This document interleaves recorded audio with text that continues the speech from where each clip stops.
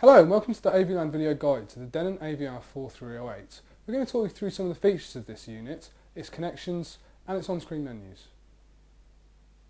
The Denon AVR 4308 is at the higher end of the new range of Denon AV receivers.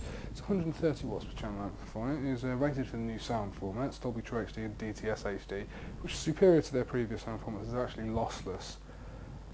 Um, this is a well-spec unit for networking with uh, Ethernet and Wi-Fi available, so just to wirelessly integrate it into your home. So just zoom into the front there, you've just got the volume control on the right hand side and there's the uh, source select on the left there, power button just down at the bottom. And so just taking you under the metal flap at the front of the unit there. Got the uh, headphone out there on the left hand side just under the flap. And as just take you in there, just underneath that LCD screen. You see it's mostly uh, menu and setup buttons for the most part there. and So it's the middle integrated channel select one as a sort of pure direct mode for the, for the best audio quality that you can get. So it turns off everything that it doesn't need and there's that USB port and the auxiliary outputs there. The USB port just for connecting up with a uh, USB flash drive just to play back some MP3s or maybe view some pictures. Taking you to the back of the panel now, you just see at the top left hand corner there's the four HDMI inputs, PlayStation 3 or Sky HD or maybe an Xbox 360 Elite model um, or maybe a Blu-ray player. And then just next to those you can see there's the two HDMI outputs, dual outs, just the simultaneous output there, so if you want to go to a projector and a plasma, you want to see that. And then you've just got the standard composite and S-video inputs below that with the component ones next to that for maybe hooking up on a DVD recorder or an Xbox 360 Premium. Just below those you've got the uh, multi-channel inputs and then the pre-outs, uh, subwoofer ones there, and then there's the phono input with the ground. Just to the right hand side of that, you see there's the input the, for the DAB tuner. Uh, it's quite a new, new feature on AV amplifiers to include those DAB tuners there. And uh, then you've got the speaker terminals here. Just for those. I'm just going to show you now how to set your amp up for banana plugs. See those little black bungs in the back of the unit there? What you need to do is just, as you can see there, just take a small screw, just to take those bungs out of the back. Just need to just screw those in, take them out, and just take your standard 4mm banana plug. It's used on most cables just to prevent cable degradation on the uh, from bare wiring.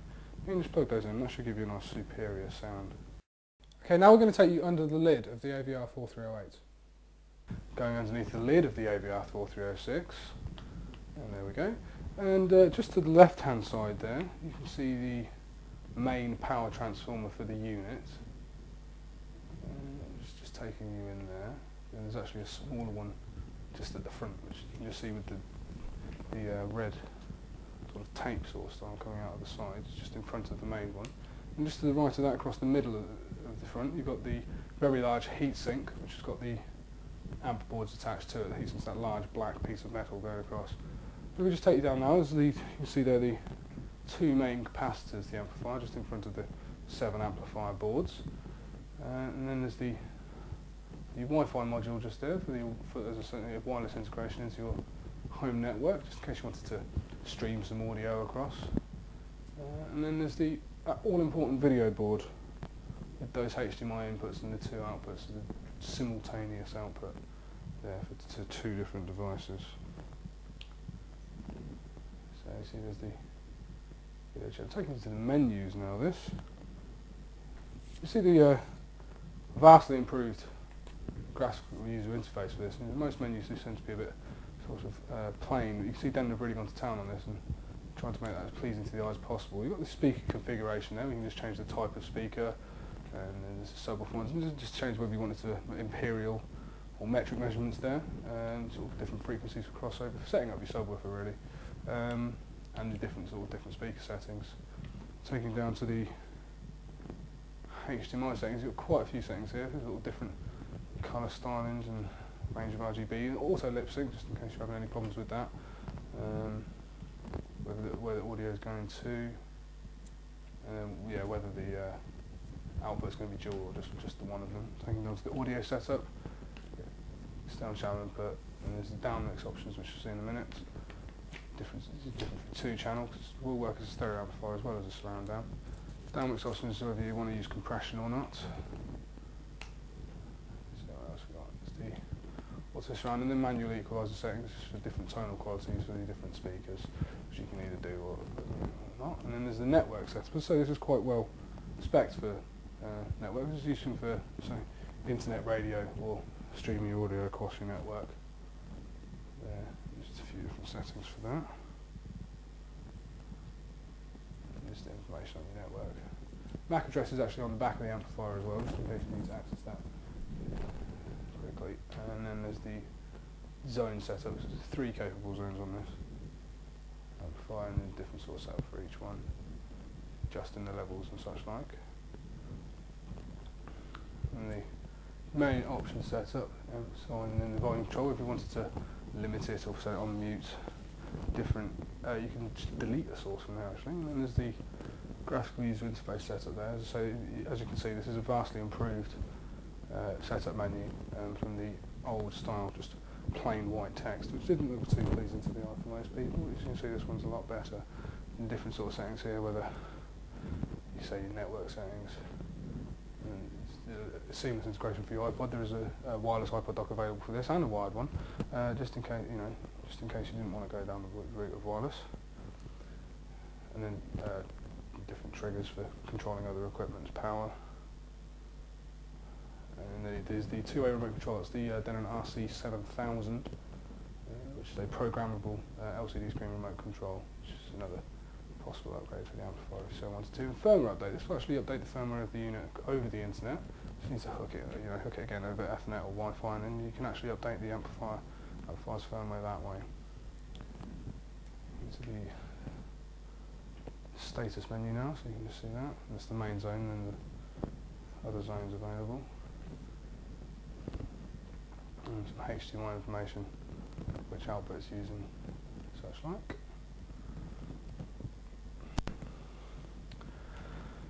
Out of the information menu just into the source select menu where you can go into your assigning, so whether you want to assign DVD to HDMI or components and you know, uh, with, if you would say if you were doing a component which uh, audio you wanted to go with that, so say optical or coaxial onto there as well, and perhaps even just a standard uh, analog signal into that. Um, so HDP is the one we just got selected at the moment. Back out and then different surround modes. Dolby or DTS or one of their standard ones and then you can go into the parameters change the settings on the audio there whether you want to put the tone defeat on and the do it again. Then there's another sort of equalizer there for the room. And there's some more delay functions there just in case your, your video and audio isn't syncing up properly together. And picture dust through your amplifier as well auto setup, just amps available for auto setup. You just take the the auto setup with the little jacks on the front of the unit there, and you just plug your mic where your listening position is, and the amp will calibrate your speakers to that, and just make make life just a little bit easier for for you. back. So just taking you through the uh, networking options now. Just through the uh, just take you through the internet radio here. Just take you onto that, and you can see whether you want to go into, you see there all the different ways you can scroll through this. Um, so you've got the different sort of genres. You can scroll by country, just in case you want, you know, maybe you want to listen to some Russian radio or Argentinian radio. Uh, and so you can, you can do podcasts again by genre or location. You can see there's a Virgin Islands and some Uruguayan podcasts if you so wanted, and obviously the UK because that's where we're based. Uh, and then you can just, there's a lot of different podcasts there, so you can just do it by page, just with a quick flick of the remote. That makes life obviously a lot easier just to skip through and find what it was you're looking for. Um, there's, different things there, so we decided just, maybe we'll just go to the, the Russell Brand's podcast on Radio 2. See, so you just scroll down there, take it on, and then I'll just flick through and start playing onto that. It's very quick to start streaming, as you'll see. Uh, and it's actually it will show you display, display a picture of what you're listening to as well. So that's quite good. And that, that percentage there is just how long it's taking to buffer. So that's just playing through now. And take you back, and then we can actually, this is just streaming across the network here. take you through and see the different track names on the album and again just display the uh, album cover there for you.